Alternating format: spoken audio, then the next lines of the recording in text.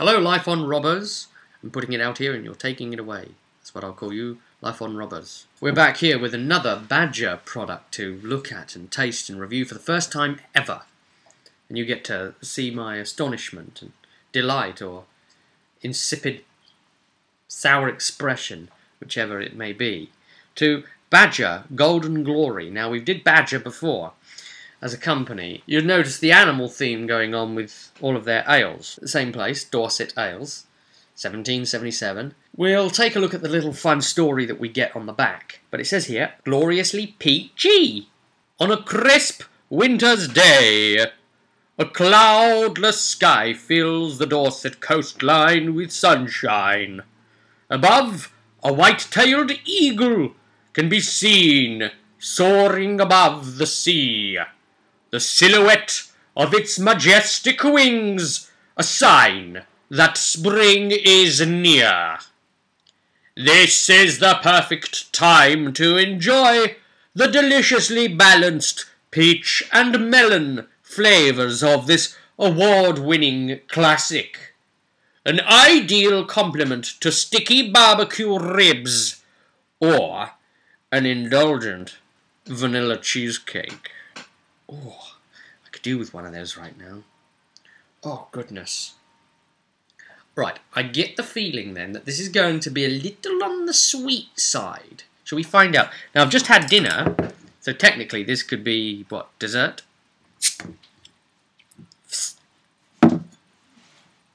check the cap. Wow.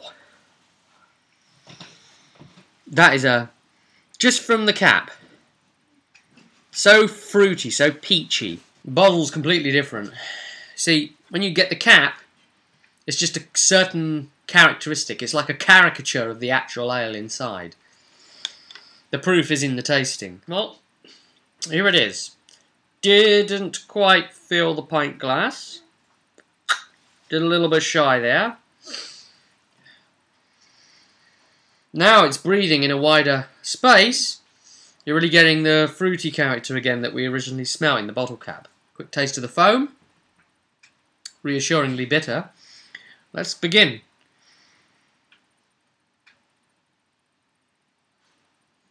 That's very mild. Quite sweet.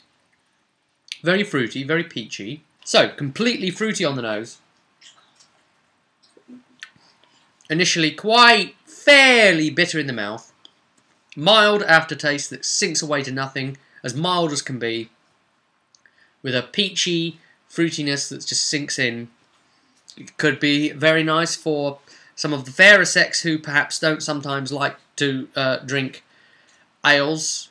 Maybe the bitterness, if you don't like a bitter, could still be a bit too much, though, for those that don't like it. So I'm not sure how that would be for those that like like doing um, lemonade tops and bottoms and such, how that would work with it. I definitely get the idea that this would go quite nice with the cheesecake. I wish I had a vanilla cheesecake right now to drink this with because I really do agree it would be delicate because you know the the flavour of vanilla, especially on a cheesecake, it's so delicate and subtle a balance of flavour that any other flavour you add to the vanilla really comes out very, very strongly, but in a subtle way as well.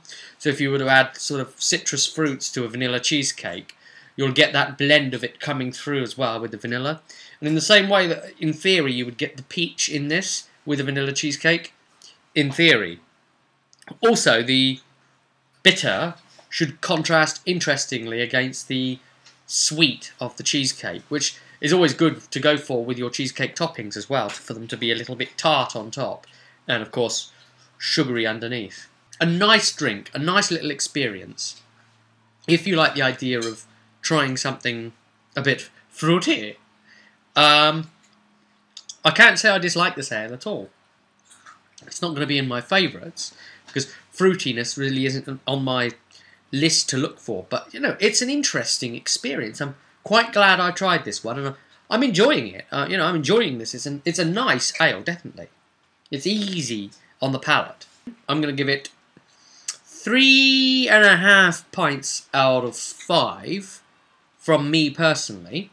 However, I'm going to say it should get four pints if you normally think that ales are becoming boring and you want to try something a bit different or you don't normally like the aftertaste on ales, maybe then it would be a 4 for you. But it's certainly that bit better than average, but it's just the fact that it's peachy as a fruit that I can't stick it up there in the top contenders. But interesting drink. Nice work, Badger. That's a good one.